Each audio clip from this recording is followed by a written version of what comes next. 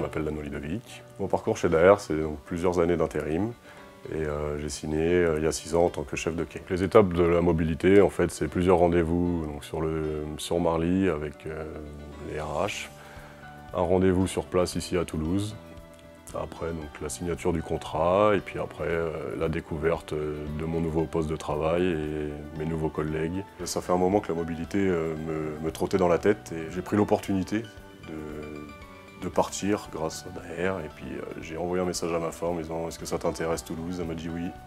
Et euh, du coup, euh, voilà, on s'est lancé et puis on est très heureux comme ça.